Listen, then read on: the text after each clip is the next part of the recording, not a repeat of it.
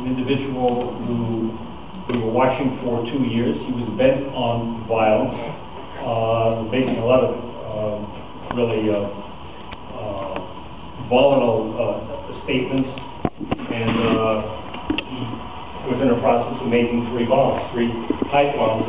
Fit, it, it made a sort of elbow joint, fit right in the palm of my hand, and would do uh, an awful lot of damage.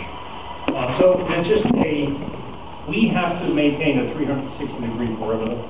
Uh, this is the place where they, they want to go. We devote about a thousand police officers every day, or full-time equivalents to our counterterrorism uh, efforts. And uh, it's, it's an expensive proposition for us. You see those, you'll see uh, sort of uh, convoys of of marked cars. Uh, They go to what we consider sensitive locations.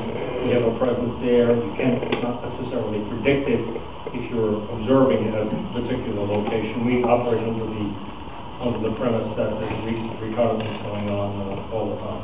So I believe we have a uh, sophisticated, um, well-functioning counterterrorism program, but there are no guarantees because Exactly.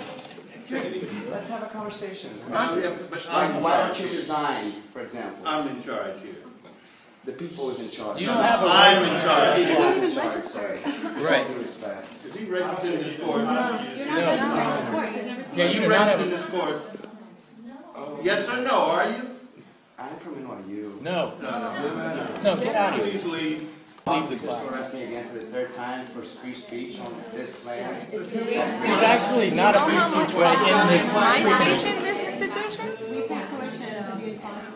Right. Go down there and fight. Private you know, I mean, if you have your own time, Exactly. that's we're, we're trying to actually have a class. Exactly. Right. Serious We conversation. appreciate the opportunity to have the class and not be interrupted. If you're dead in your head and you don't I mean, see, this is great. it's another issue.